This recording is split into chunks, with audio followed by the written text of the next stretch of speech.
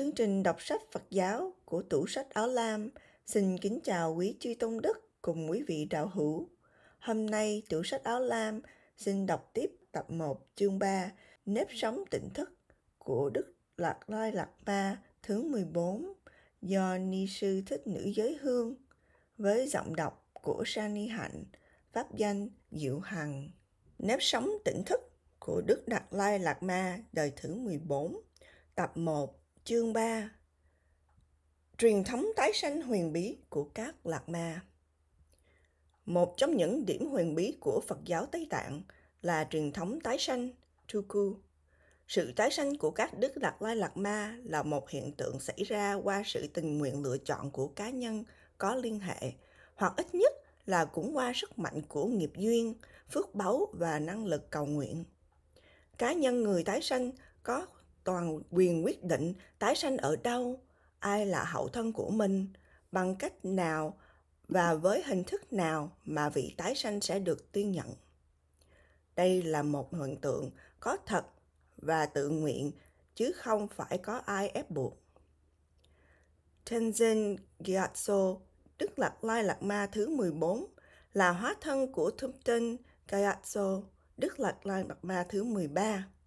Truyền thống tái sanh này thuộc trường phái cách lỗ hay mũ vàng là một trong những trường phái phát triển nhất Phật giáo Tây Tạng. Danh sách 13 Đức Lạc Lai Lạc Ma theo truyền sống tái sinh của Tây Tạng như sau. Thứ nhất, Gedun Trupa sinh năm 1391 đến 1474 Thứ hai, Gedun Gyatso, sinh 1475 đến 1542. Thứ ba, Sonam Gyatso, sinh năm 1543 đến 1588.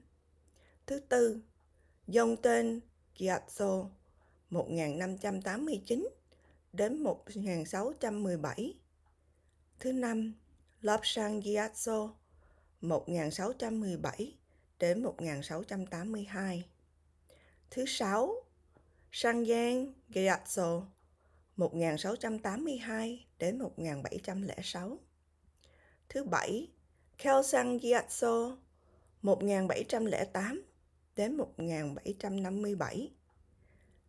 Thứ tám, Jamfo Gyatso 1758 đến 1804. Thứ 9, Luntuk Gyatso 1805 đến 1815. Thứ 10, Sodrim Gyatso 1816 đến 1837. Thứ 11, Kerub Gyatso 1838 đến 1856. Thứ 12, Trenli Gyatso 1856 đến 1875. Thứ 13, Tupten Gyatso 1876 đến 1933. Và đời hiện tại là đời thứ 14, Tenzin Gyatso sinh 1935. Tiểu sử 13 Đức Lạc Lai Lạc Ma Thứ nhất, Đức Lạc Lai Lạc Ma đầu tiên là Gundun Trúc còn gọi là Dendron danh đinh Trúc và Gaiden Trúc Nghĩa là sự hoàn hảo của đức hạnh. Ngài sinh trong một gia đình sống bằng nghề chăn nuôi tại Saptot.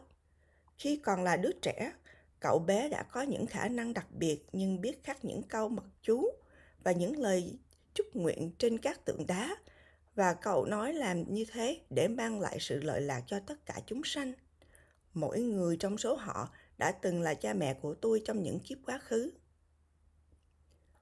Lúc 14 tuổi, Ngài xuất gia tại chùa Nathan thọ tỳ kheo giới năm 1411 và Ngài theo học đạo với Lama Sankapa, người đã thành lập phái Jelupa Mũ Vàng vào năm 1416. Đức Lama Sankapa đã xé một mảnh y casa của mình đưa cho Gendon Trúc và tiên đoán tương lai của ngài Gendon Trúc sẽ thành công trong việc trì giữ và phát triển Phật giáo Tây Tạng. Năm 1447, Ngài Gundum Gupta thành lập tu viện Tashi Lumbo, được gọi là núi Phúc Lành, ở Tishan gần Shigasti, một trong những tu viện lớn nhất của trường phái Galupa và trở thành Đức Lạt Lai Lạt Ma đầu tiên. Ngài sáng tác bảy tập triết lý Phật giáo với hàng trăm đề tài, những chú giải về giới và luận, nhiều tiểu luận về tâm linh và thơ văn Phật giáo. Kinh Đinh Trúc Ba đã trở thành bậc đạo sư có năng lực và là một nhà tinh thông về biện chứng. Năm 1474, Ngài Kinh Trinh Trúc Ba an nhiên thiền tọa mà thị tịch. Ngài tĩnh tọa trong tư thế thức đàm, một trạng thái huyền bí giữa sống và chết, và nhờ năng lực của định nên cơ thể Ngài được duy trì khoảng 49 ngày. Sau đó, ý thức dần dần rời khỏi tim và cuối cùng Ngài viên tịch tại tu viện Tashi Lambo, hưởng thọ 84 tuổi. Đức Lạc Lai Lạc Ma thứ hai là Gundung Gyatso. Ngài sinh trong một gia đình nông dân, nhưng phụ thân của Ngài là hành giả mật tông nổi tiếng của trường phái Ninh Mã hay là mũ đỏ. Khi Gundung Gyatso mới bập bẹ biết nói, Ngài nói với song thân rằng tên của Ngài là Pema Dorje, tức tên đời của vị Lạc Ma thứ nhất, và nói Ngài thích sống ở tu viện Tashi Lambo. Cùng lúc đó, phụ thân của Ngài cũng nằm mơ thấy có một vị mặc áo trắng nói tên thật của con trai ông là Gendin Trúc Sau khi học xong cấp 1, vào tuổi 11, cậu bé tự nhận mình là Gendin Trúc tức là Đức Phật Lai Lạc Ma đầu tiên, đang thờ ở tu viện Tashi Lambo. Năm 1486, Ngài xuất gia thọ giới xa đi với đạo sư Panchen Lungrik Gyatso và thọ ti kheo với Lạc Ma Choje Cơ Gootsen, người đã đặt phái hiệu cho Ngài là Gendun Gyatso. Ngài bắt đầu học đạo ở tu viện Tashi Lambo và Trumpang. Năm 1517, Đức Lạt Lai Lạt Ma Gundung Gyatso trở thành viện trưởng tu viện Tripong và chủ trì đại lễ hội Mon Lam Chanmo cho tất cả chư tăng ni tại ba tư viện lớn của phái Kelupa là Serre, Trebung và Garden. Năm 1525, Ngài trở thành viện trưởng của tu viện Sara và Ngài viên tịch vào năm 1542, hưởng thọ 67 tuổi. Đức Lạt Lai Lạt Ma thứ ba là Sonam Geatso. Ngài sinh trong một gia đình quý tộc đông con, nhưng không may mắn tất cả đều chết. Chỉ có Ngài là còn sống nhờ nực đuôi bằng sữa dê trắng. Vì thế, Ngài đã có tên là Ranu Sicho Pelzang, nghĩa là đứa bé khỏe mạnh nhờ sữa dê. Lúc vừa chào đời, đứa bé đã bắt đầu tụng thần chú Amani Bác Minh Hồng và mới biết nói bập bẹ là câu bé tuyên bố rằng mình chính là Gundung Gyatso, tức Đức Lạt Lai Lạt Ma thứ hai. Sau đó, cậu bé được hộ tống về tu viện Trupung làm lễ thế phát xuất gia. Khi 7 tuổi, Ngài thọ xa ghi giới với đạo sư Sonam, với pháp hiệu là Sonam Gayatso. Khi 20 tuổi, Ngài thọ tỳ kheo với đạo sư Gilik Pausang.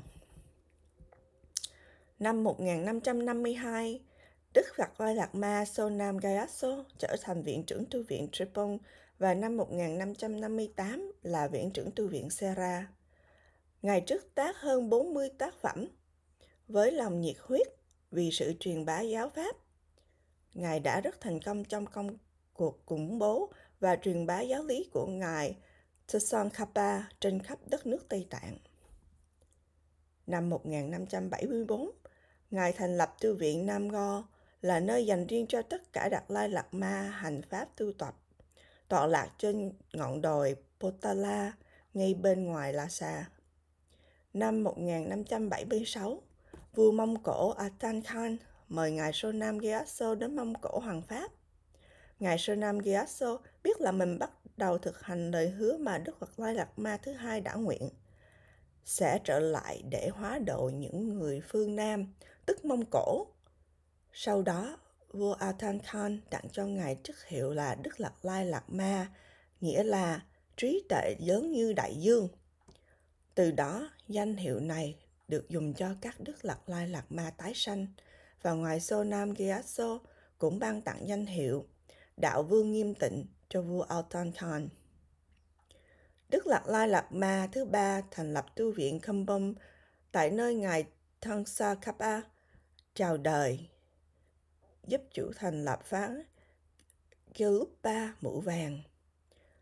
Kambom trở thành tu viện đầu tiên của trường phái mũ vàng ở miền Đông Tây Tạng. Năm 1588, Ngài bị bệnh và thiền tọa thị tịch trong lúc đi hành pháp tại Mông Cổ. Xá, lại của, xá lợi của Ngài được thờ tại thư viện Trupon Lhasa. Đức Lạt Lai Lạt Ma thứ tư là Yongten Gyatso, sanh tại triều đình Mông Cổ. Khi Đức Lạt Lai Lạt Ma thứ ba sắp viên tịch, những người Mông Cổ đã tha thiết yêu khẩn Ngài ná ở lại thêm một thời gian nữa để hoàn pháp. Ngài đã nhận sự thỉnh cầu ấy bằng cách hứa sẽ tái sanh ở Mông Cổ. Cho nên sau đó một thời gian, vào năm 1589, một cậu bé đã ra đời trong hoàng gia Alton Khan, cháu nội lớn của Alton Khan, và đã nhận ra các đồ dùng của Đức Lạt Lai Lạt Ma thứ ba là của mình. Triều đình liền mời ban thiền Lạt Ma Tây Tạng sang để hướng dẫn cho ngài, và ngài đã làm lễ tấn phong với chức vị là Đức Lạt Lai Lạt Ma thứ tư tại Mông Cổ vào năm 1991 với pháp hiệu là Yongten Gyatso, nghĩa là biển đức hạnh. Năm 1601, lúc 12 tuổi, Yongten Gyatso được ban thiền Lạc Ma và song thân người Mông Cổ hộ tống đưa về thủ đô Lhasa, Tây Tạng. Sanya Richin là vị Lạt Ma trụ trì của chùa Garden làm lễ phát và truyền sa di giới cho Ngài. Năm 1614, lúc 25 tuổi, Ngài thọ thị kheo giới với sư Panchen Lama thứ tư, Lobsang Chigo, và Ngài trở thành viện trưởng hai tư viện Tribun và Sera. Năm 1617, Ngài bị bệnh thấp khớp phải đi đến những suối nước nóng để chữa trị. Đầu năm 1617, Ngài viên tịch tại tu viện Trupung khi vừa tròn 28 tuổi và có để lại vài tác phẩm do Ngài sáng tác. Đức Lạt Lai Lạt Ma thứ năm là lớp Sangeaso, sinh tại Lokha Chinwa, Tasket, huyện Chonga, trong vùng biên giới phía đông của Sang. Năm 1619, Sonam Trofo là thị giả chính của Đức Lạt Lai Lạt Ma thứ tư nghe về những kỳ lạ của cậu bé trong Gia, nên thân hành đến thăm. Sonam Trofo đưa ra những đồ dùng của Đức Lạt Lai Lạt Ma thứ tư, thì đứa trẻ nhận là của mình. Sonam Trofo giữ kín chuyện bí mật này vì lúc đó những cuộc nội chiến đấu tranh đang lan tràn khắp Tây Tạng và quân Mông Cổ đang tấn công vào danh trại của quân đội Sang ở bên ngoài Lhasa. Sau đó vào năm 1621, vua phân xuất Nango băng hà. Nhờ đó, sự đấu tranh về quân sự giữa Tây Tạng và Cha Sang có phần lắng dịu, nên việc phát hiện Đức Lạt Lai Lạt Ma thứ năm được thông báo và tại tu viện Trúc Ba đã tổ chức lễ lớn tấn phong Đức Lạt Lai Lạt Ma thứ năm. Ngài được thọ tỳ kheo giới với Ngài Lama Pachen thứ ba, lớp sang Chango và được đặt pháp hiệu là Nga Quang Lomsen Gyatso. Từ đó, Nga Quang Gyatso được giáo dưỡng theo quy chế dành cho các đức lật lạc ma gồm kinh tạng, mật tạng và cả về y học. Năm 1642, Đức Lạt Lai Lạt Ma thứ năm trở thành nguyên thủ nước Tây Tạng và Ngài dùng kỹ năng của mình nền của nền chính trị thần quyền để lãnh đạo quốc gia. Ngài thiết lập các luật lệ về tôn giáo và xã hội, vững chắc như soạn thảo ra những bộ luật kỷ cương cho nhân dân cũng như chỉ định các bộ trưởng các ngành như kinh tế, y tế, giáo dục, xã hội, an ninh, thương mại và các chấp chính quyền địa phương. Phía tôn giáo và học thuật, Ngài đã sáng tác nhiều tác phẩm và nhiều lĩnh vực như thuyết thần học huyền bí, tiểu sử cá nhân vật nổi tiếng đương thời, lịch sử Tây Tạng, các luận giải về thơ văn cổ điển Ấn Độ, văn phạm, thuật chiêm tinh, văn xuôi và thơ ca, đặc biệt là nghệ thuật tu tập mật tông. Việc phiên dịch các bản kinh Pali và Phạn văn với các nước láng giềng cũng phát triển. Dưới sự lãnh đạo tài ba của Ngài, Tây Tạng đã trở thành một quốc gia thống nhất và độc lập. Ngài đã tạo nên một hình thức chiến quyền của Tây Tạng. Hệ thống lãnh đạo được chia nhiều giữa tăng si, sĩ và cư sĩ. Còn vua Gushi Khan vẫn được duy trì trên danh nghĩa là vua của Tây Tạng, nhưng chỉ là nhà bảo trợ và hộ trì cho Đức Lạt Lai Lạt Ma. Còn mối quan hệ với giữa bậc đạo sư và vị hộ pháp đã được chính thức thiết lập từ đây. Năm 1655, vua Gashi Khan băng giá Hà, hai hoàng tử kế vị của vua Gashi Khan chia nhau lãnh đạo Tây Tạng, nhưng họ không để tâm vào việc chính sự này. Do đó, dần dần tất cả quyền lực được giao lại cho Đức Lạt Lai Lạt Ma thứ năm, kể cả quyền bổ nhiệm quan nhiếp chính. Năm 1662, Đức Panchen Lama viên tịch, thọ 91 tuổi. Đức Lạt Lai Lạt Ma thứ năm đã xác thực hóa thân của Ngài Panchen Lama là một cậu bé ở tỉnh Thê Sang.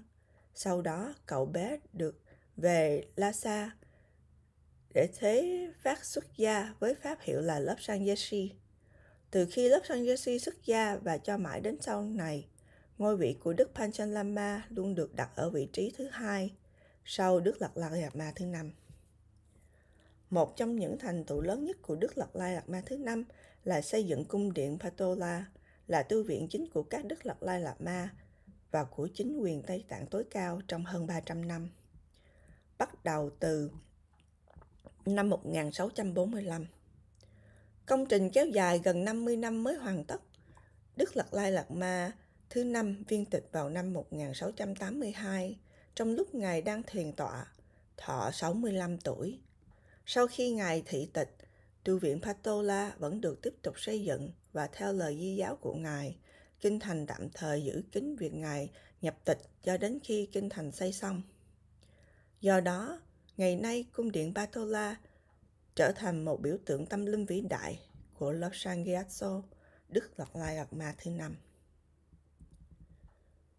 Đức Lạt Lai Lạt Ma thứ sáu là Sangyang Gyatso tại Mont Tawang, hiện nay thuộc Arunachal Pradesh, Ấn Độ.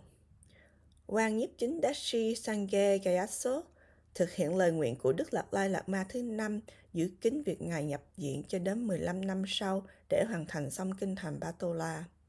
Quần chúng Phật tử trong thông báo là Ngài nhập thất lâu năm và mỗi khi có những buổi lễ quan trọng, các hàng tử Mông Cổ yêu cầu Đức Lạt Lai Mạt Ma thứ năm chứng minh thì Depo Berap, một Lạt Ma trưởng lão ở tu viện Nam Go, giả trang Đức Lạt Lai Lạt Ma thứ năm để ngựa trên ngai và đội mũ vàng Tây Tạng của Ngài. Hoàng nhiếp chính Dashi vẫn duy trì bí mật này mãi cho đến năm 1688, khi nghe có một đứa trẻ ở Môn biểu hiện những điều phi thường. Dashi lần cử ban thiền lạc ma đến hộ tống đứa đứa trẻ về Nankatse gần Lhasa để hướng dẫn đứa trẻ tu học. Cho đến năm 1697, Hoàng nhiếp chính Dashi gửi sứ Saptrong Ngawa Sonu đến triều đình Mãn Chu để thông báo với hoàng đế Kangxi về sự nhập diệt của Đức Lạt Lai Lạt Ma thứ năm và quan nhiếp chính Dashi đã tìm được Đức Lạt Lai Lạt Ma thứ sáu, hóa thân của lớp Sangatso. Tin này cũng được loan báo khắp nước Tây Tạng. Người dân rất vui và cảm ơn quan nhiếp chính Dashi cho việc này. Thay vì than khóc một trời trí tuệ đã ấn, Đức lạc Lai Lạt Ma thứ năm nhập diệt, thì họ vui mừng để chào đón mặt trời khác đã mọc Đức lạc Lai Lạt Ma thứ sáu đã tìm thấy. Hoàng nhiếp chính Dashi mời lớp Sanyashi Lama Pachen thứ năm đến nằm xế cho đứa trẻ thế phát xuất gia thọ sa di giới và đứa trẻ được đặt pháp hiệu là Sangyang Gayatso.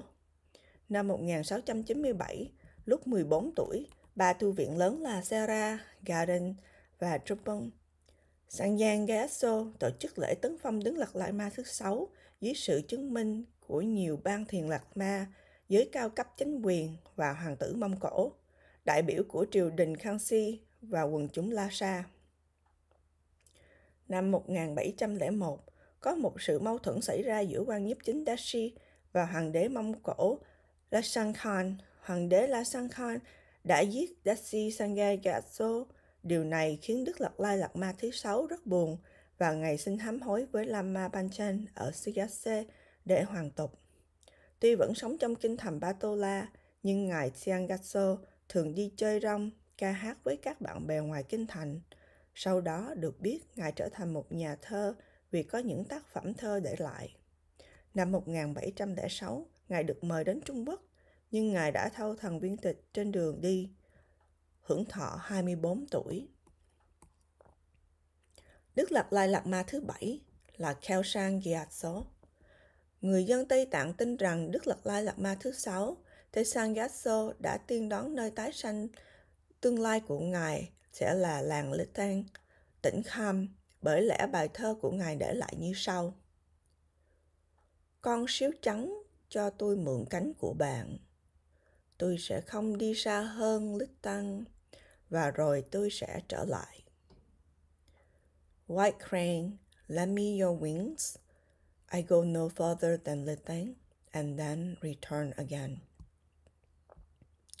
Quả nhiên như vậy, hai năm sau khi Đức Lật Lai Lạt Ma thứ sáu viên tịch, Đức Lạt Lai Lạt Ma thứ bảy hóa sanh trong thân một đứa bé tại làng Lít Tang, như lời thơ Ngài đã nói. Ban thiền Lạt Ma tại tu viện thấp tên Jambaling, làng Lít thân rất ngạc nhiên trước sự kỳ diệu của đứa trẻ. Tuy nhiên lúc này tình hình chính sự đang rất rối loạn. Ban thiền Lạc Ma không thể hộ tống vi Lạc Ma vị Lạc Ma mới về thủ phủ La Sa và vì thế nên đưa đế bé về tu viện Kumbum để ngài thế phát xuất gia với đại sư Nga Quang Lập Sang Tanpai Gyansen. Vào năm 1720 tại kinh thành Patola, ngài thọ xa di giới với đạo sư Panchen Lập Sang Yasi và được đặt pháp hiệu là Khelsang Gayatso. Năm 1726, nhân dịp tháng tốt, Sakadawa Khelsang Gayatso thọ tỳ kheo với Rinpoche Panche và học đạo với Lạc Ma Panche Lopsang yasi, Chủ trì chùa Gyumi và Salu cũng như học triết Phật giáo tại Lạc Ma Nhân Tịnh. Đức Đại Lạc Ma thứ bảy tỏ ra rất sáng suốt và học nhanh các kinh và luận. Và Ngài cũng sáng tác nhiều tác phẩm giá trị để lại cho đời. Năm 1751, lúc 43 tuổi, Ngài Đức Lạt Lai Lạt Ma thứ bảy thành lập triều chính khắc sát để chỉnh đốn lại chính quyền và hủy bỏ vị trí quan nhiếp chính Dashi bởi lẽ quá nhiều quyền lực độc tài trong tay một người. Đức Lạt Lai Lạt Ma thứ bảy trở thành vị nguyên thủ quốc gia của triều chính Tây Tạng. Lúc 45 tuổi, Ngài thành lập trường phái C trong cung điện Patola và xây một cung điện mới ở Norling, Khaosang, Phorang. Đời sống đức hạnh và khiêm tốn của Ngài đã giành được tình cảm của số đông Phật tử Tây Tạng yêu mến. Ngài thị tịch năm 1757, hưởng thọ 49 tuổi. Đức Lạt Lai Lạt Ma thứ 8 là Jamfo Gyatso. Ngài sanh tại làng Thomgo Larigan, tỉnh Sang, phía tây nam của Tây Tạng. Gia đình ngài vốn là người có từ tỉnh Kham và đã tìm về tổ tiên ở Dralaseco, một trong những nơi sinh sản ra các anh hùng huyền thoại của thiên anh hùng Kagisa. Khi mẹ ngài mang thai, làng Larigan đã liên tiếp trúng mùa mang nhiều hoa lợi cho dân chúng và có những cầu vòng ngũ sắc rực rỡ đã bao quanh căn nhà khi Ngài vừa ra đời. Đây là những điểm tốt báo rằng sẽ có một thánh nhân giáng sanh. Khi đứa trẻ vừa biết nói, cậu bé liền nói, ta sẽ đến La Sa lúc 3 tuổi. Đức Lạt Lai Lạt Ma thứ 14 cũng nói câu này. Năm 1761, đứa bé được đưa về Lhasa và Đức Pachen Lama đã thế phát xuất gia, truyền ngũ giới và đặt pháp danh cho ngài là Jampa Gayatso. Năm 1777, ngài được thọ tỳ kheo cụ tức giới và học mật tâm theo truyền thống Galupa mũ vàng, cũng giống như Đức Lạt Lai Lạt Ma thứ bảy. Tuy nhiên sau này, ngài đã kết hợp giáo lý của phái Galupa mũ vàng và Nam Imaba mũ đỏ trong quá trình hành pháp của Ngài. Sau cái chết của viên quan nhiếp chính Jean-Paul Delac, Đức Lạt Lạt Ma thứ 8 được yêu cầu lên nắm chính quyền nhưng Ngài đã từ chối. Do vậy, Ngài Ngawa Chochim của chùa Senonling là quốc sư của hoàng đế trong suốt 14 năm đã được đề cử lên làm quan nhiếp chính để giúp Đức Lạt Lai Lạt Ma thứ 8 về vấn đề chính trị. Đức Lạt Lai Lạt Ma thứ 8 Jamfoge Asok viên tịch vào năm 1804 hưởng thọ 47 tuổi. Tây Tạng luôn nhớ đến những phẩm chất tâm linh tuyệt diệu của Ngài và sự đóng góp của Ngài trong công trình xây dựng công viên mùa hè Nobulinka cho các Đức Đạt Lai Lạt Ma. Đức Lạt Lai Lạt Ma thứ 9 là Luân Thúc Cài Ác Sốt. Ngài sang tại làng Dan Choco, tỉnh Kham. Năm 1807, Ngài được công nhận là hóa thân của Đức Lạt Lai Lạt Ma thứ 8 và được đưa về Lhasa. Năm 1810, lễ tống phân Đức Lạt Lai Lạt Ma thứ 9 được tổ chức rất long trọng tại cung điện Potala. Sau đó, Ngài xuất gia và thọ sa di giới với Rinpoche Pachen Lama và được pháp hiệu là Luân Thúc Gyatso. Thật bất hạnh, năm 1815, Ngài đã thâu thần thị tịch khi vừa mới 9 tuổi. Đức Lạc Lai Lạc Ma thứ 10 là Tsotrim Gayaso, Ngài sinh tại làng Lịch Tăng, tỉnh Kham. Năm 1822, Ngài được công nhận là hóa thân của Đức Lạc Lai Lạc Ma thứ 9 và được thế phát xuất gia thọ sa di giới với đạo sư Pachen Lama, Tempai Niyama và được pháp hiệu là Tustram Gaso. Năm 1826, lúc 10 tuổi, Ngài đăng ký học triết pháp tại tu viện Trombone và Ngài tỏ ra xuất sắc cả về kinh và luận pháp giáo. Năm 1831, Ngài tái xây dựng lại cung điện Patola vào năm 1835. Lúc 19 tuổi, Ngài thọ tỳ kheo giới với Ngài Panchen Lama. Năm 1837, Ngài bị bệnh nặng và viên tịch khi vừa tròn 21 tuổi. Đức Lạt Lai Lạt Ma thứ 11 là Khê Trúc Gà Sốt. Ngài sinh tại làng Gatha, tỉnh Kham Minh Giác. Năm 1941, Ngài được công nhận là Đức Lạt Lai Lạt Ma thứ 11 và được đưa về phát xuất gia với Rinpoche Pachen Lama, Tendai Niapa và được pháp hiệu là Kedrup Gayatsa. Năm 1842, tại cung điện Patola để chức lễ tấn phong Đức Lạt Lai Lạt Ma thứ 11 và Ngài thọ giới sa di giới với Đại sư Pachen Lama vào năm 1849.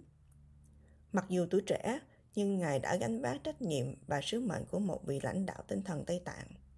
Tuy nhiên, vào năm 1856, Ngài thị tịch bất ngờ tại cung điện Patola khi vừa tròn 18 tuổi. Đức Lạc Lai Lạc Ma thứ 12 là Trinli Gyatso. Ngài sanh tại Lhasa, gần thủ đô Lhasa. Năm 1850 tuổi, 18, lúc 2 tuổi, Ngài được công nhận là Đức Lạc Lai Lạc Ma thứ 12 và được hộ tống về kinh thành Lhasa để thế phát xuất gia. Đại sư Retin Ngawa Yashi Tostrim Gayatson đã đặt pháp hiệu cho đứa trẻ là Trinli Gayatso. Lúc 5 tuổi, Trinli Gayatso thọ sa di giới tại tu viện Garden với đại sư Lapsang Khenrap và tại cung điện Patola tổ chức đại lễ tấn phong cho Ngài Đức Lạc Lai Lạt Ma thứ 12. Năm 1873, lúc 18 tuổi, Ngài thọ tỳ kheo giới và là vị lãnh đạo tinh thần và hành chính cho toàn Tây Tạng. Tuy nhiên, năm 1875, Ngài viên tịch bất ngờ tại kinh thành Patola lúc vừa tròn 20 tuổi. Đức Đạt Lai Lạt Ma thứ 13 là Thấp Tinh Gayatso.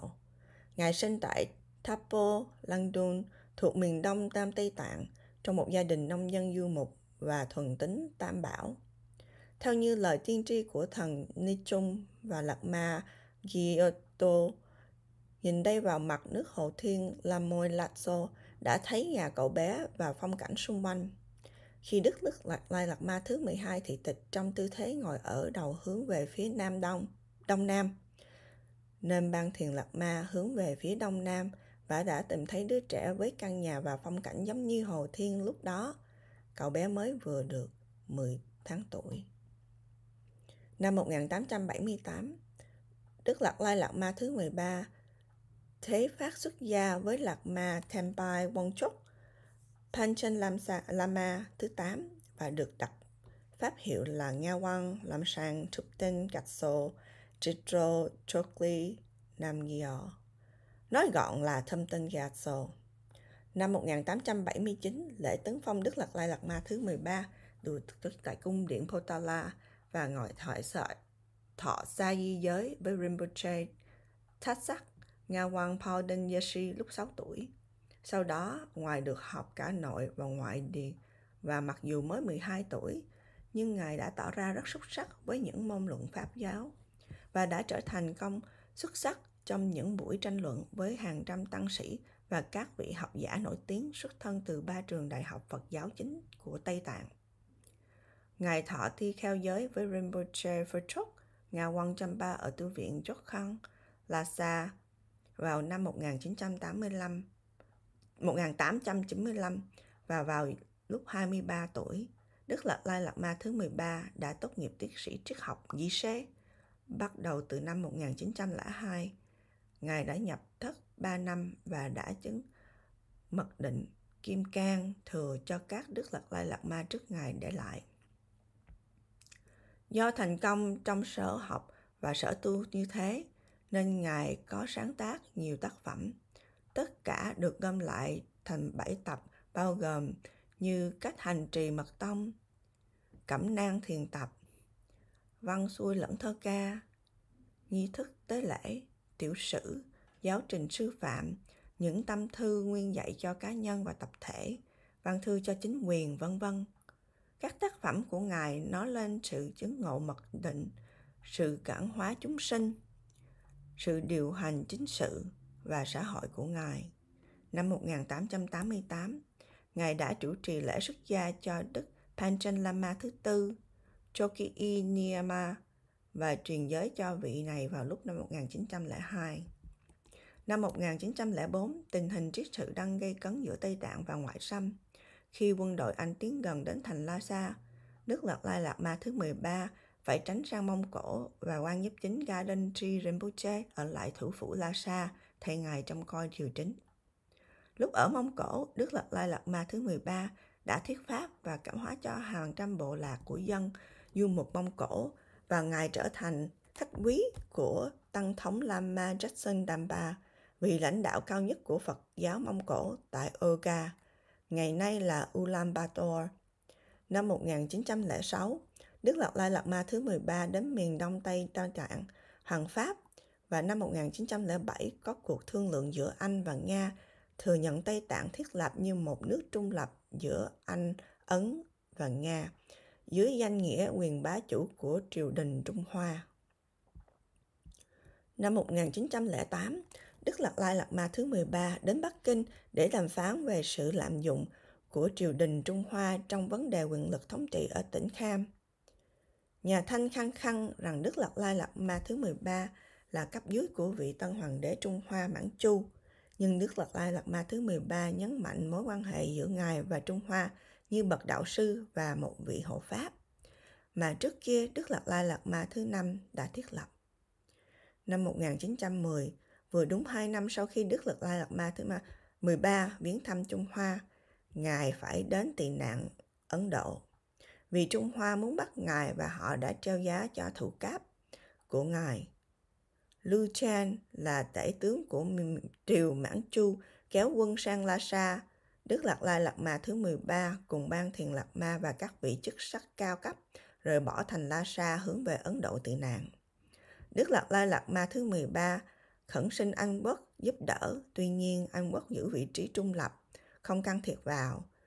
Trung Hoa muốn tuyên bố bắt và các chức Đức Lạt Lai Lạt Ma thứ 13 nhưng không đủ sức nên đã yêu cầu Đức Lạt Lai Lạt Ma thứ 13 trở lại và giữ chức vụ dưới quyền của triều Mãn Chu.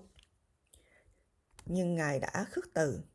May mắn thay, năm 1911, triều đình Mãn Chu sụp đổ và quân Tây Tạng nắm lấy cơ hội này đánh đuổi lực lượng Mãn Chu ra khỏi Tây Tạng.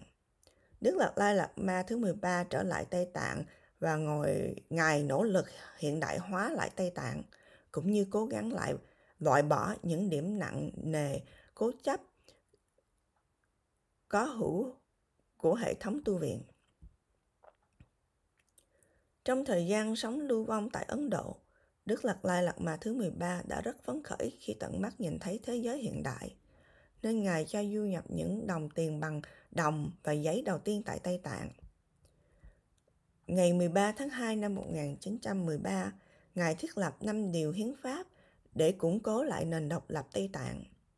Năm 1913, Ngài sáng lập bưu điện đầu tiên tại Tây Tạng và gửi bốn sinh viên Tây Tạng đi học ngành kỹ sư tại Anh Quốc.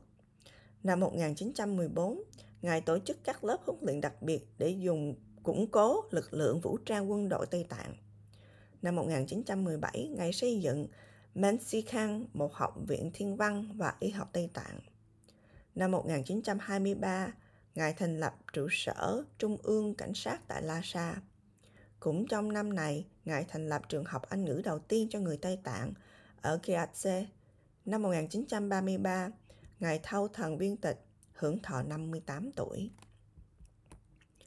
Tóm lại, xem qua tiểu sử của 14 Đức Lạt Lai Lạt Ma, chúng ta thấy đa phần các ngài thị hiện ở Tây Tạng không lâu.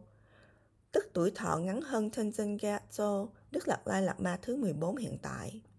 Các Đức Lạt Lai Lạt Ma thứ nhất, thứ hai, thứ năm, thứ 13 và thứ 14 là lưu lại ở thế giới ta bà này lâu hơn, cho nên sự cống hiến của các ngài để lại cho một đời cũng nhiều hơn Đức Lạt Lai Lạt Ma thứ 14 đã cống hiến rất nhiều.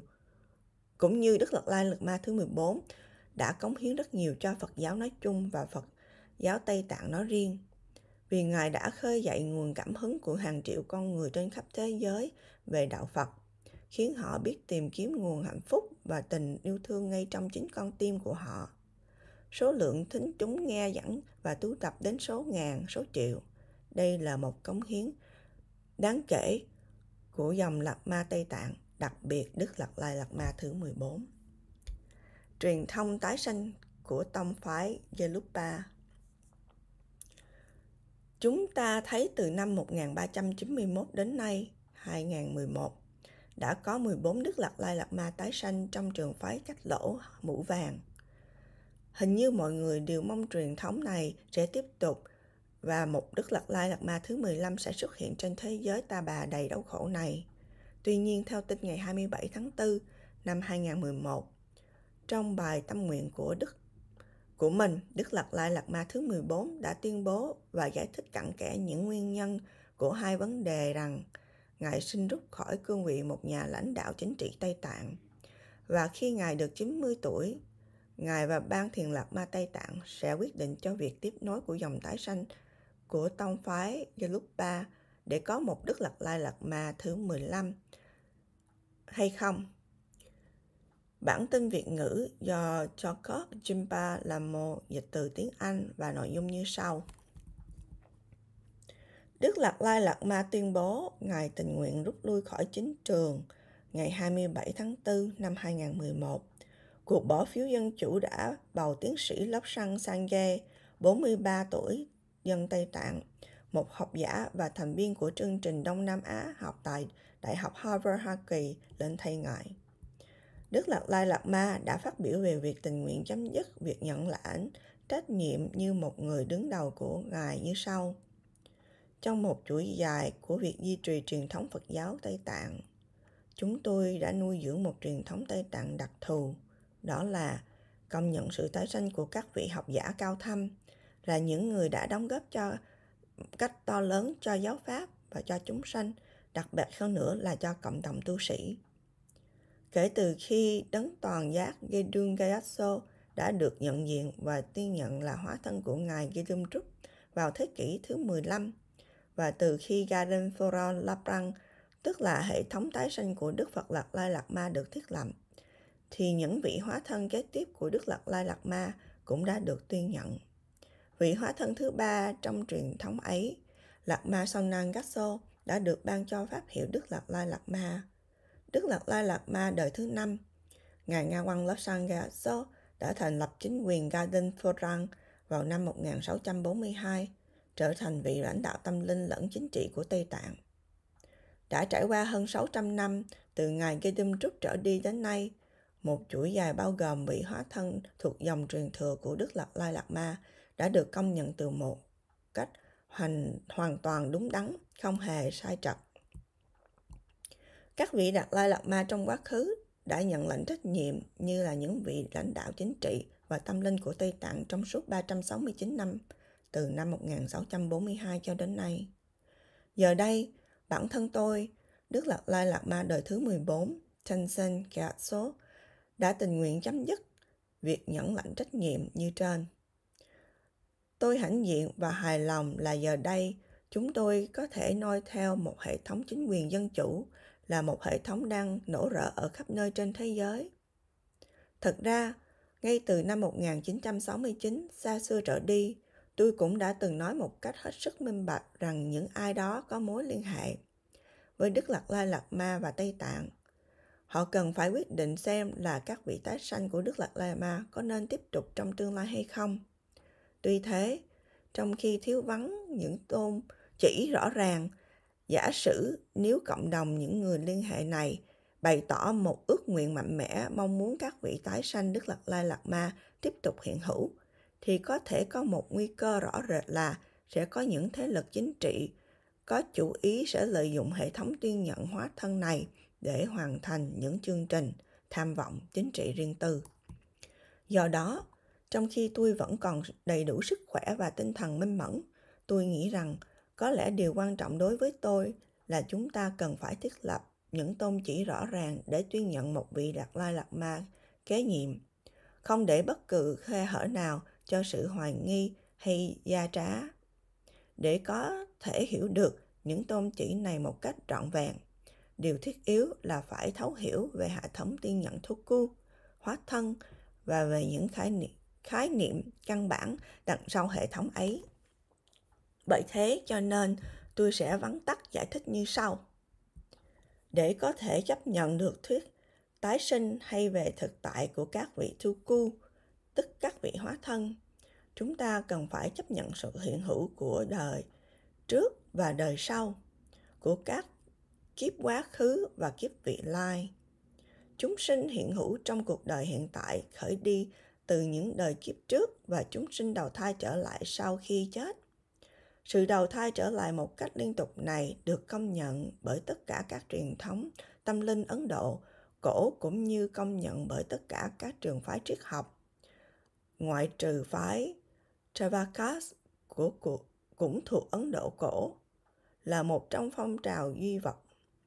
Có một số các triết gia hiện tại chối bỏ kiếp trước kiếp sau dựa trên tiền đề, cho là chúng ta không thể nhìn thấy được điều đó. Có những ngày khác thì lại không vẽ ra những kết luận quá rõ rệt trên cơ sở này của việc không nhìn thấy được là kiếp trước kiếp sau. Cho dù là rất nhiều truyền thống tôn giáo công nhận việc đầu thai trở lại, thì các truyền thống này lại có những cái nhìn khác nhau. Chẳng hạn như là các quan điểm khác nhau về cái gì là đầu thai trở lại, đầu thai trở lại như thế nào và sự việc xảy ra như thế nào khi qua giai đoạn chuyển kiếp giữa hai kiếp sống. Có một số truyền thống tôn giáo chấp nhận biển ảnh của kiếp tương lai nhưng lại chối bỏ khái niệm về những đời quá khứ. Nói chung, người Phật tử tin tưởng rằng không có khởi đầu của sự chào đời và họ tin rằng một khi chúng ta đạt được giải thoát khỏi vào vòng xoay luân hồi bằng cách khắc phục được nghiệp báo và các tâm thức tiêu thực cực thì chúng ta sẽ không phải bị đào thai trở lại dưới sự lôi kéo của những điều kiện nghiệp duyên đó. Do đó, người Phật tử tin rằng có thể chấm dứt việc đầu thai như là kết quả của nghiệp báo và các tâm thức tiêu cực. Nhưng đa số các trường phái triết học Phật giáo đều không chấp nhận rằng có sự chấm dứt của dòng tâm thức. Việc chối bỏ quá khứ và chối bỏ sự đầu thai trong tương lai sẽ tương phản với các khái niệm Phật giáo liên quan đến các giáo lý thuộc về nền tảng, đạo và quả, và những điều cần phải được giải thích dựa trên một cái tâm thần, tâm thuần thục, được chế ngự hoặc một cái tâm bất thuần thục không được chế ngự đối với những ai có thể nhớ lại được tiền kiếp thì việc đầu thai trở lại là một kinh nghiệm rất rõ ràng.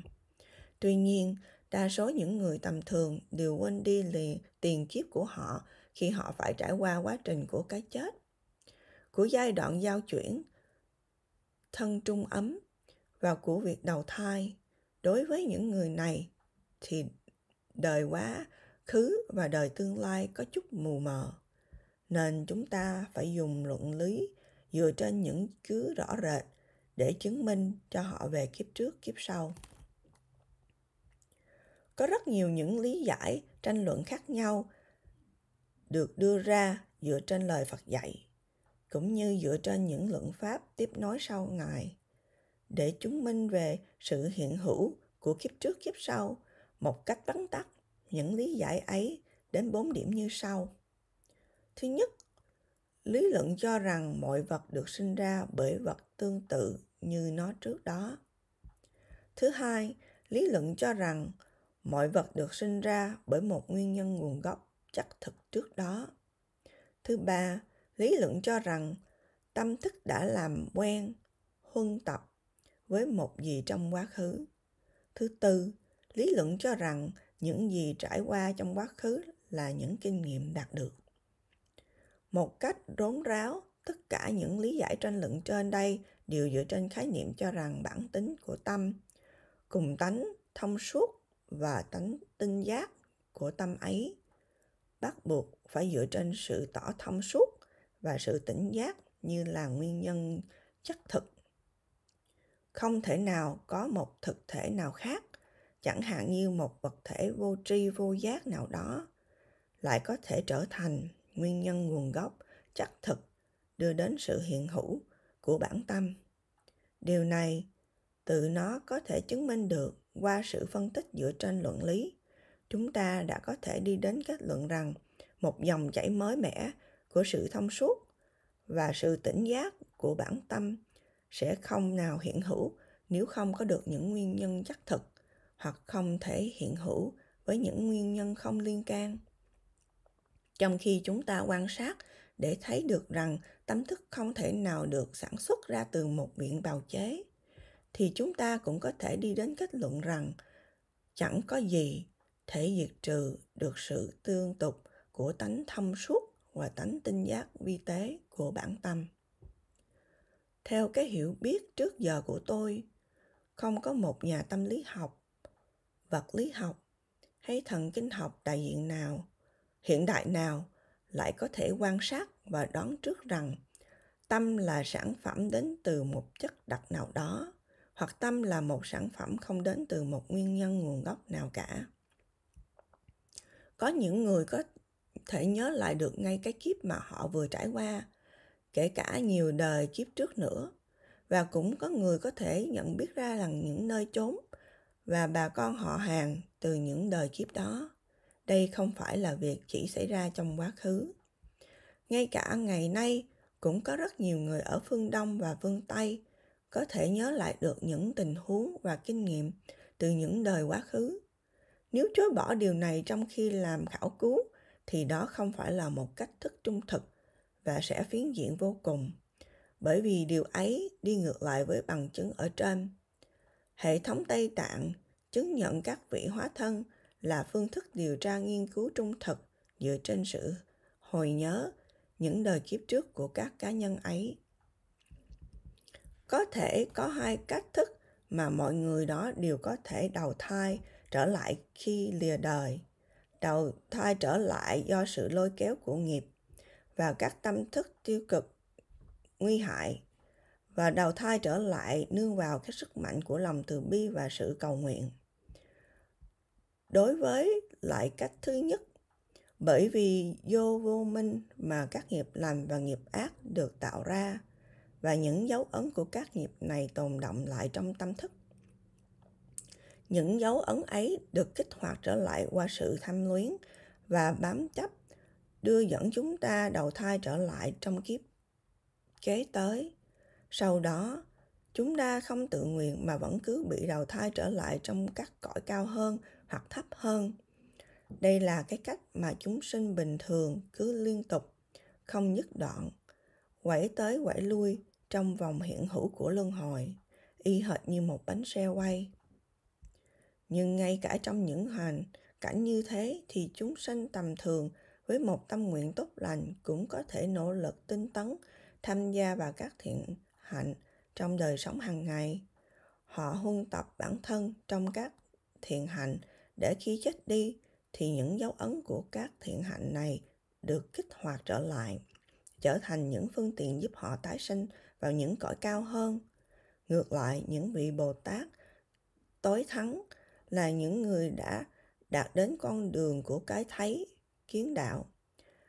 Các vị ấy không đầu thai trở lại do bởi nghiệp lực hay các xúc cảm ô, trượt, nguy hại lôi kéo, mà do bởi sức mạnh của lòng từ bi của các ngài dành cho chúng sinh và dựa trên những lời cầu nguyện muốn đem lại lời lạc cho kẻ khác. Các vị ấy có thể lựa chọn nơi trốn và ngày giờ chào đời, cũng như lựa chọn cha mẹ tương lai. Một sự đầu thai như thế duy nhất bởi vì lợi lạc cho các chúng sinh khác chính là sự đầu thai xuyên qua mức mạnh, sức mạnh của lòng từ bi và sự cầu nguyện. Ý nghĩa của Toku hóa thân Có vẻ như là phong tục Tây Tạng về việc sử dụng danh hiệu Toku thì hiện thân của Phật dành cho những vị hóa thân đã khởi sự bắt đầu từ khi những người mộ đạo sử dụng từ Toku đó như là một tước hiệu danh dự. Nhưng mà từ đó trở đi thì cách gọi này trở thành một biểu lộ thông thường. Nói chung, từ Toku ám chỉ một khía cạnh đặc biệt của Đức Phật là một trong ba hay bốn khía cạnh phẩm tánh đã được mô tả trong Kinh Thừa. Dựa trên những giải thích về các phẩm tánh này của Đức Phật, một người hoàn toàn thoát khỏi, không bị trói buộc bởi những tâm thức ô nhiễm nguy hại và không bị trói buộc bởi nghiệp người ấy có khả năng đạt trong pháp thân, chân thân. Và pháp thân ấy bao gồm trí pháp thân và thế tánh pháp thân. Trí pháp thân chỉ đến tâm giác ngộ của một vị Phật. Tâm ấy trong một khoảnh khắc có thể nhìn trực tiếp mọi thứ một cách đích xác như chúng thật là.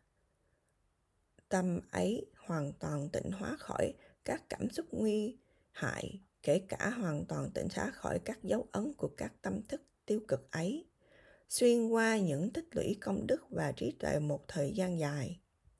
Sau đó, đến thể tánh pháp thân là đang chỉ đến tánh không của chính tâm toàn tri, toàn giác ấy.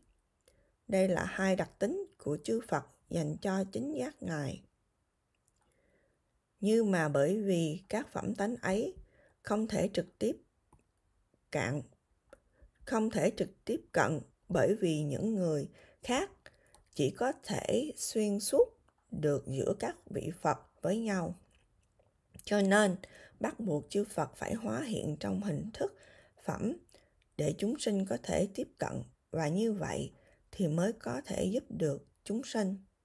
Vì vậy, khía cạnh sắc tướng cao nhất của một vị Phật chính là thọ dụng thân, báo thân, có thể được tiếp cận bởi chư Bồ Tát, cao tột và thọ dụng thân thì có năm phẩm tánh. Mà một trong năm phẩm tánh đó là an trú tại cung trời sắc cứu cánh thiên. Rồi từ thọ dụng thân ấy lại hóa hiện ra vô lượng số số thị hiện thân của chư Phật hoặc tu cu. Các vị hiện ra là chư thiên hoặc là người và có thể được tiếp cận bởi các chúng sinh bình thường. Hai đặc tánh mang bình thường Hai đặc tánh mang hình tướng của Phật gọi là sắc thân, có nghĩa là dành cho những kẻ khác. Thị hiện thân gồm có ba phân loại. Thứ nhất, hiện thân tối thượng, giống như là Đức Phật Thích Ca Mâu Ni là Đức Phật lịch sử đã hóa hiện 12 công hạnh của một vị Phật, chức hạn như là đảng sanh vào nơi chốn mà Ngài đã lựa chọn vân vân. Thứ hai, hiện thân mỹ thuật để phụng sự người khác bằng cách thể hiện như là những nghệ nhân, nghệ sĩ, vân vân. Thứ ba, hóa hiện thân mà qua đó chư Phật hiện ra vô số hình tướng khác nhau như là con người, hộ Phật, con sông, chiếc cầu, dược thảo và cây cối có thể giúp đỡ chúng sinh. Trong số ba loại thị hiện này, sự tái sanh của các vị đạo sư tâm linh được công nhận và biết đến như là các vị Thuku tại Tây Tạng nằm trong loại thị hiện thứ ba. Trong số các vị Thuku này có thể có nhiều vị là những hóa thân đầy đủ phẩm tánh thật sự của chư Phật, nhưng điều này cũng không nhất thiết là áp dụng cho tất cả các vị Thuku. Trong số các vị Thuku của Tây Tạng, có nhiều vị là tái sinh của các vị Đại Bồ Tát tối cao, của các vị Bồ Tát trên con đường tích lũy và con đường chuẩn bị, cũng như là tái sanh của những vị đạo sư là những vị tuy qua minh chứng chưa thực sự bước vào trên con đường tư lương và hạnh gia hạnh đạo ấy của chư Bồ Tát. Do đó, danh hiệu Thuku được dành cho các vị Lama tái sanh được đặt trên cơ sở rằng các ngài không khác nào giống như là các vị giác ngộ hoặc do bởi các ngài có sự kết nối với một số phẩm hạnh nào đó của chư vị giác ngộ. Như Đức Jamgon Kansu Wangpo đã nói, tái sanh này là chuyện xảy ra khi một người nào đó đầu thai trở lại sau khi vị tiền nhiệm qua đời. Hiện thân là khi một sự hóa hiện xảy đến mà không cần có sự qua đời của vị hóa thân gốc.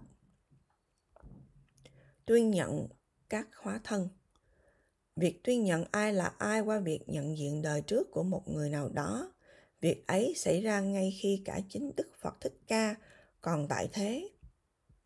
Có rất nhiều câu chuyện đã đưa tìm được tìm thấy trong phẩm thứ tư Agama Ngũ Bộ Kinh của luật tạng trong truyện tiền thân Phật, trong kinh hiển ngưu, trong bách nghiệp, vân vân.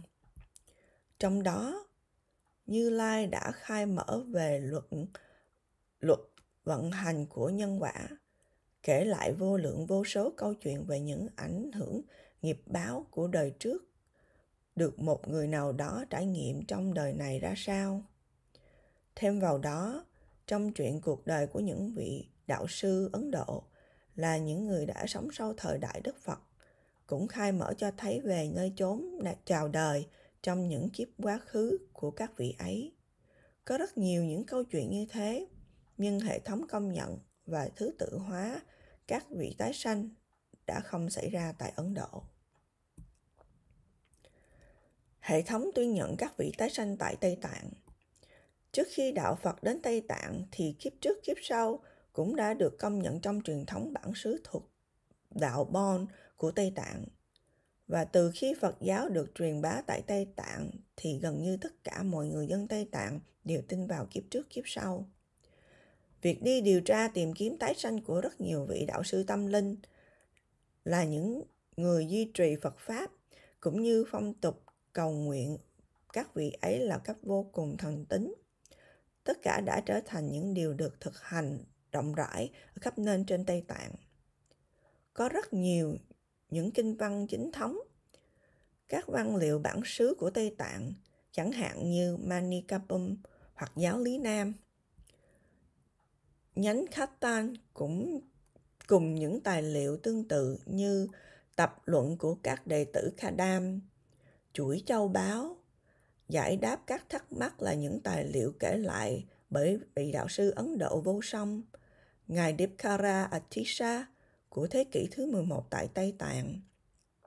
Trong đó có kể lại về những câu chuyện của các tái sanh của thánh giả thánh giả quán thế âm bồ tát của đại từ bi tuy thế truyền thống chính thức tuyên nhận các vị tái sanh của các đạo sư như truyền thống tái sanh ngày nay đã khởi sự bắt đầu vào thế kỷ thứ 13 qua sự việc Ngài Kampapashi đã được chính thức, để được chính các đệ tử của Ngài tuyên nhận Ngài là tái sanh của vị tiền nhiệm Kamapa Dusam Kayamba dựa trên chính những chỉ dẫn được để lại cho đệ tử bởi vị tiền nhiệm ấy. Từ đó, trở đi, đã có 17 hóa thân Kamapa trong hơn 900 năm nay. Cũng giống như thế, bắt đầu từ việc tuyên nhận ngài Kanga Sangmo là tái sanh của ngài Khanro Choki Dome của thế kỷ thứ 15 cho đến nay thì đã có 10 vị tái sanh của Samdin Dorje Phagmo. Cho nên, trong số các Tuku được tuyên nhận tại Tây Tạng, có những vị là tu sử và những vị là hành giả mật thừa, cả nam lẫn nữ. Hệ thống tuyên nhận các vị tái sanh dần dần lan truyền đến các truyền thống Phật giáo Tây Tạng khác, kể cả đạo Bon ở Tây Tạng. Ngày nay, có những vị tu cu được tuyên nhận trong khắp bốn truyền thống Phật giáo Tây Tạng. Saika, Sakya, Galuk, Kayu và Niyama cùng với Yonan và Bodon là những vị hiến mình cho giáo pháp.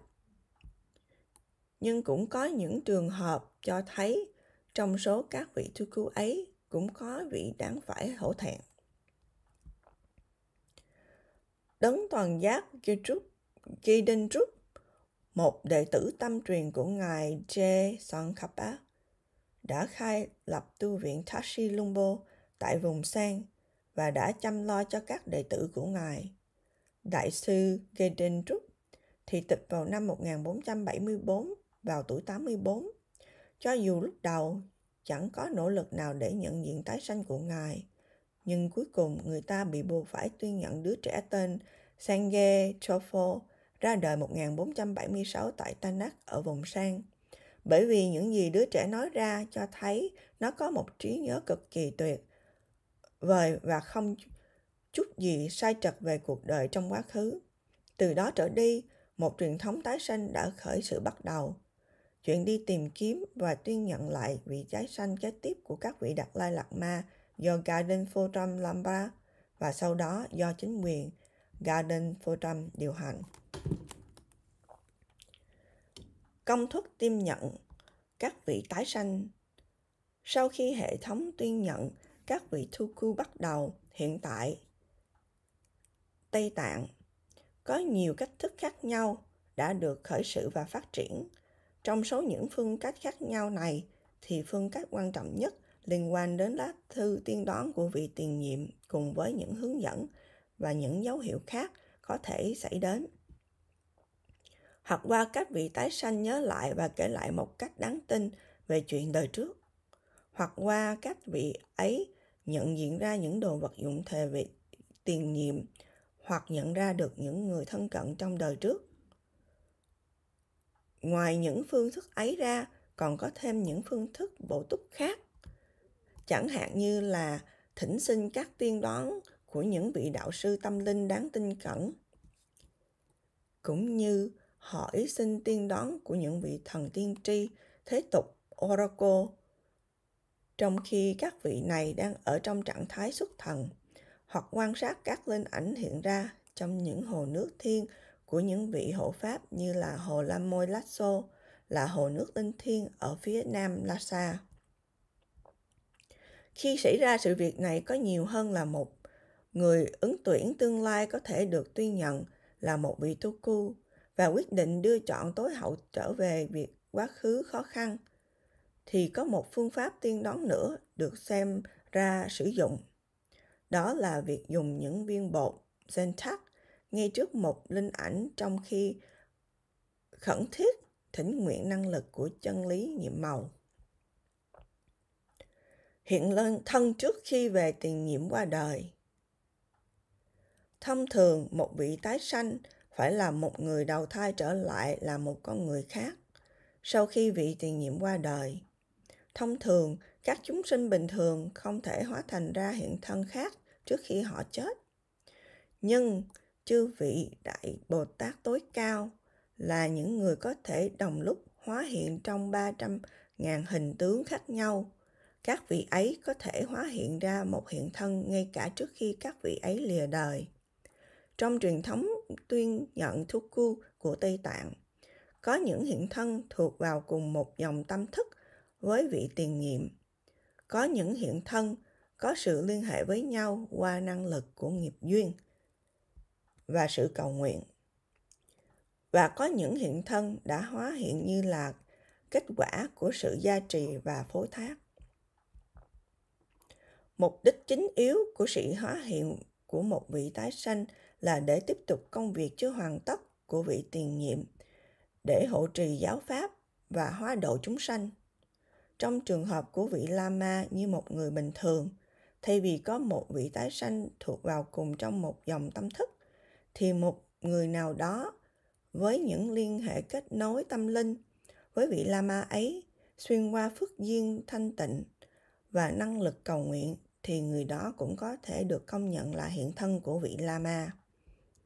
Một cách khác hơn nữa, cũng có thể là vị Lama sẽ bổ nhiệm một người thấy cười kệ, kế thừa và người kế thừa có thể là một đệ tử hoặc một người nào đó trẻ tuổi hơn sẽ được tuyên nhận là hiện thân của vị Lama kia. Bởi vì những sự lựa chọn như vậy cũng có thể xảy ra trong trường hợp của một chúng sinh bình thường. Nên trường hợp có một vị hiện thân không thuộc vào cùng một dòng tâm thức cũng có thể xảy ra trước khi vị tiền niệm lìa đời. Trong một số trường hợp, một vị đại cao tăng Lama cũng có thể có một vài tánh sinh khác nhau đồng một lúc, chẳng hạn như hiện thân của thiện thân, hiện thân của khẩu và hiện thân của ý, vân vân. Trong thời hiện đại có những trường hợp nhiều người biết đến, ấy là có những vị hiện thân đã hóa hiện trước khi vị tiền nhiệm lìa đời, chẳng hạn như là trong trường hợp của ngài Dujong Jitro Jeshi Doje và ngài Chongi Chichen Ngawang Kienrap. Sử dụng chiếc lư vàng bởi vì thời mạt Pháp ngày nay càng tệ mạt và bởi vì các tái sanh của những vị Lama cao trọng được tuyên nhận ngày càng nhiều, lại có một số vị được tuyên nhận bởi các động lực chính trị, nên con số những vị tái sanh được công nhận qua các phương pháp không đúng đắn và đánh đáng hồ nghi ngày càng cao và kết quả của sự việc này là gây ra một tai hại hết sức to lớn cho đạo pháp.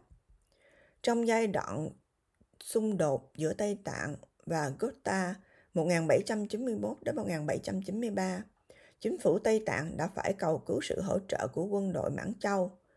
Kết cuộc là quân đội Gupta đã bị đánh đuổi khỏi lãnh thổ Tây Tạng. Và sau đó, chính quyền Mãn Châu đã soạn ra một bản kiến nghị 29 điểm dựa trên cái cớ giúp cho cơ quan điều hành của chính phủ Tây Tạng thêm phần hiệu quả. Chính phủ Tây Tạng thêm phần hiệu quả. Kiến nghị này gồm có những vấn đề về việc có thể bắt thăm từ một chiếc lư vàng để quyết định về việc công nhận tái sanh của các vị Đạt Lai Lạt Ma, của các vị Ban Thiền Lạt Ma, Panchen Lama, cũng như các vị Hutuku, một tước hiệu Mông Cổ dành cho những vị Lạt Ma cao trọng. Do đó, phương thức bắt thăm này đã được noi theo trong một vài trường hợp tuyên nhận hóa thân Đức Lạt Lai Lạt Ma, Ban Thiền Lạt Ma hoặc một vài vị Lama cao trọng khác. Nghi thức cần phải noi theo đã được viết xuống bởi Đức lạc Lai Lạt Ma thứ 8, Ngài Jampho Gatso. Cho dù sau khi một hệ thống như vậy đã được giới thiệu trước đây, nhưng trùng hợp của Đạt Lai Lạt Ma thứ 9, thứ 13 và trường hợp bản thân tôi, Đức Lạt Lai Lạt Ma đời thứ 14, thì phương thức bắt thăm tùy tiết lưu vàng đã được bãi bỏ.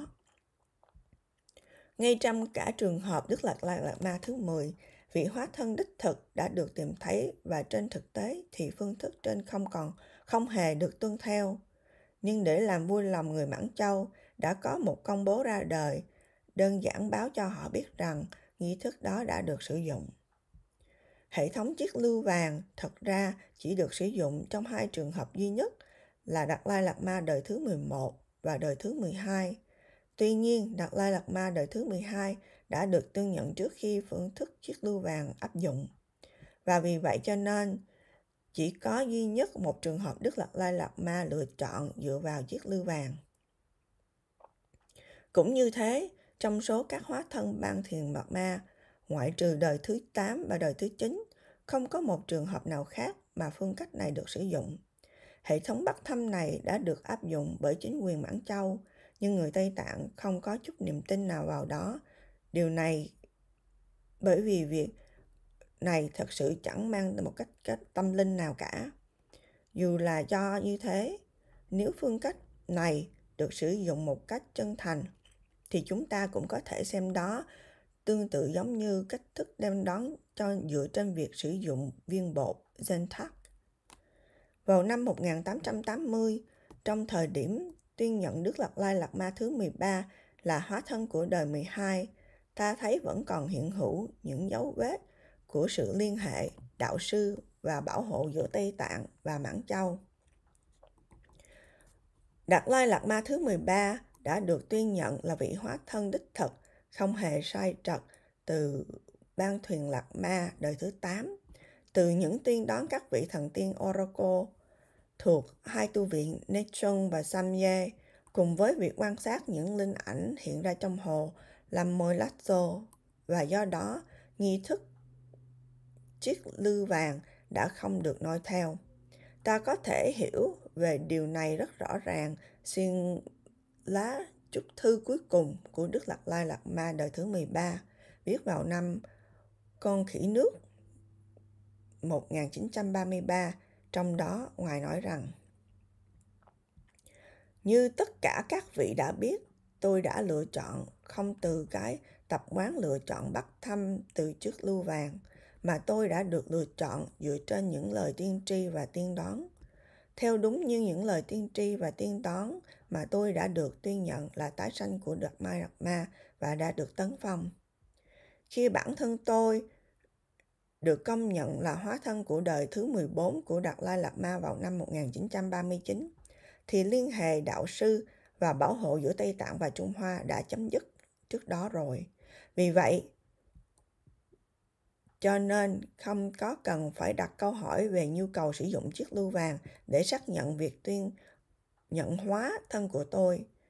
Điều mà rất nhiều người biết là nhiếp chính của Tây Tạng vào thời điểm đó cùng với Hội đồng quốc Tây, gia Tây Tạng đã tuân theo thức tuyên nhận Đạt Lai Lạt Ma dựa trên những tiên đoán của các vị Lama cao trọng, của các vị thầy tiên tri cùng với nhà linh ảnh hiện ra tại hồ Lami Lasso. Và Trung Hoa không có bất kỳ một liên hệ dính líu gì đến việc này. Cho dù là như thế, có một số nhân viên cao cấp liên hệ trong chính quyền Trung Hoa Quốc dân đảng đã xảo nguyệt tung ra lời nói dối trong giới báo chí rằng họ đã đồng ý những bước đi trước qua việc sử dụng cái lư vàng. Và nói thêm rằng ông Wu Trung Sinh đã chủ tọa lễ tấn phong của tôi vân vân. Lời nói dối này đã được vạch trần bởi Ngabo Ngawang Jeme, Phó Chủ tịch Ủy ban Thường trực của Hội nghị Quốc gia Nhân dân, một người đã Cộng hòa Nhân dân Trung Hoa xem là nhân vật cấp tiến nhất Điều này trở nên rất rõ ràng trong phiên họp thứ nhì của Hội nghị toàn vùng Tây Tạng ngày 31 tháng 7 1989. Khi vào cuối bài diễn văn, ông ta đã giải thích chi tiết tường tận và trưng bày cho mọi người xem các văn kiện như các chứng cớ, rồi ông ta kết luận có nhu cầu nào để cho đảng Cộng sản theo chân và tiếp tục những lời nói dối của Trung Quốc dân đảng không. Chính sách giả dối và hy vọng hảo huyền. Trong thời gian đã qua, có những trường hợp của những người quản lý vô trách nhiệm, chuyên quản lý gia tài bất động sản giàu có cách rượu của những lama. Những người này đã ham mê chạy theo những cách thức công nhận tái sanh một cách bất chính và điều này đã làm hại đến thanh danh các giáo pháp của cộng đồng tu sĩ cũng như xã hội chúng ta. Thêm vào đó, theo hệ thống có từ thời Mãn Châu, các giới chính trị có thể lực có thế lực của Trung Hoa thường xuyên tham dự vào các phương tiện đầy xáo trá, sử dụng Phật giáo, các vị thầy của đạo Phật cũng như các vị hóa thân Chuku như là các công cụ để hoàn thành các tham vọng chính trị của họ qua việc họ can thiệp vào các vấn đề Tây Tạng và Mông Cổ, Điều này thật là một sự xúc phạm và đáng bí hổ. Việc bắt ép tuân theo những cách thức không đính đáng khác nhau để công nhận một tái sanh với mục đích xóa sạch truyền thống đặc thù của văn hóa Tây Tạng hiện đang tạo ra một thiệt hại rất khó chữa lành. Do đó, bởi vì tôi có trọng trách phải bảo vệ Phật giáo và chúng sinh và ngăn chặn các âm mưu nguy hại, nên tôi phải đưa ra lời công bố sau đây.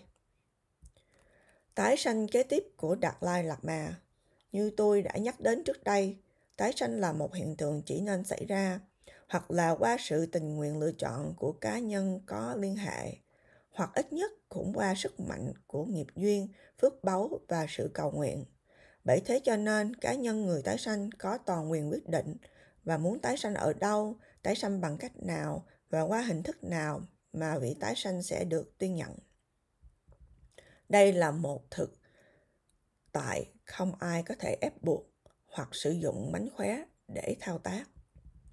Khi tôi vào khoảng 90 tuổi, tôi sẽ thăm vấn với những vị Lama cao trọng thuộc quyền truyền thống Phật giáo Tây Tạng, cũng với cộng đồng Tây Tạng và những người có liên hệ đang noi theo Phật giáo Tây Tạng.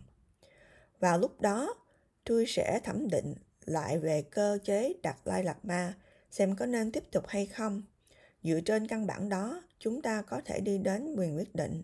Nếu vào lúc đó có quyết định tái sanh Đức Lạt Lai Lạt Ma cần phải tiếp tục và có nhu cầu đến Đức Lạt Lai Lạt Ma đời thứ 15 được tuyên nhận, thì trọng trách của việc tuyên nhận hóa thân phận lớn sẽ nằm trong tay của những nhân viên có liên hệ thuộc cơ quan Golden Fortran Trust của Đức Lạt Lai Lạt Ma. Những vị này cần phải tham vấn với các vị thủ ngôi vị thủ ngôi trì giữ các truyền thống tu tập khác nhau trong Phật giáo Tây Tạng cùng tham vấn với những vị hộ pháp tính cẩn là những vị đã được nối kết chặt chẽ, không phân lìa và đã tiên hệ trung thành với dòng truyền thừa của các vị Đạt Lai Lạt Ma. Những nhân viên được ủy thác này cần phải nhận lấy những lời khuyên và hướng dẫn từ các vị liên hệ và thi hành phương thức tìm kiếm và tuyên nhận dựa theo truyền thống trong quá khứ. Tôi sẽ để lại những lời hướng dẫn rõ ràng, minh bạch về việc này. Hãy ghi khắc trong thâm tâm rằng, ngoại trừ vị tái sanh được tuyên nhận xuyên qua những phương cách chính thống như thế, thì không thể công nhận hay chấp thuận một ứng viên nào được lựa chọn từ những lý do nào bởi bất cứ ai. Tóm lại, bản tâm nguyện này của Đức Lạt Lai Lạt Ma thứ 14 do chính Ngài tuyên đọc ngày 27 tháng 4 tháng 4 năm 2011 tại Dharamsala, Ấn Độ. Như vậy, chúng ta thấy Ngài đã tuyên bố xin rút khỏi chính trường vì Ngài muốn cho một xã hội Tây Tạng tự lực, dân chủ như nhiều nước trên thế giới hơn là dựa vào các đức lạc lai lạc ma và điều này đã được thực hiện với sự chứng minh và hỗ trợ sáng suốt của Ngài.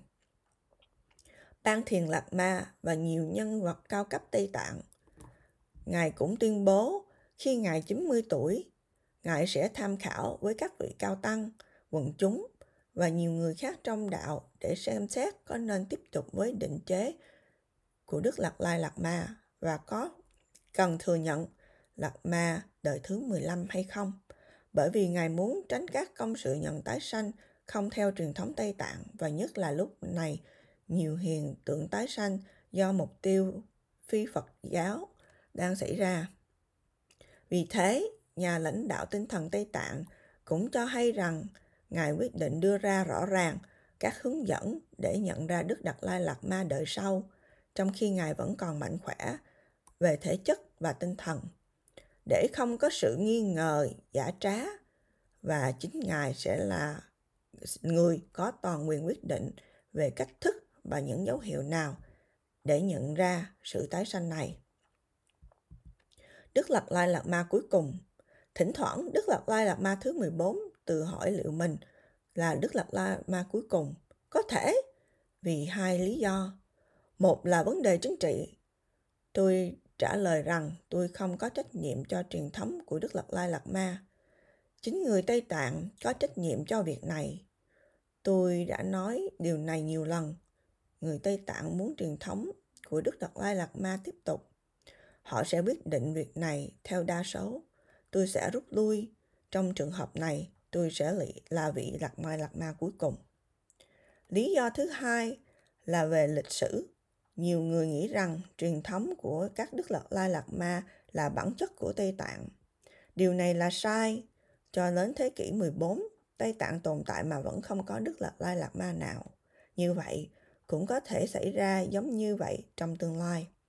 Tuy nhiên, vì vô số chúng sanh đau khổ trong thế giới thế gian này, chúng ta kính cầu nguyện Thanh Tinh Gạt Số, Đức Lạt Lai Lạt Ma thứ 14 và những hóa thân kế tiếp của Ngài sẽ tiếp tục xuất hiện và lưu dấu mãi ở ta bà này như một Ngài đã nguyện. Bao lâu thế giới này còn tồn tại? Chừng nào tất cả chúng sanh còn đau khổ?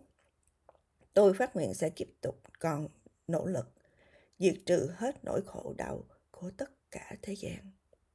Tự sách áo lam chúng con xin chân thành cảm ơn quý vị đã nghe hết tập 1 chương 3 Nếp sống tỉnh thức của Đức Lạt Lai Lạt Ma thứ 14 do Ni Sư Thích Nữ Giới Hương.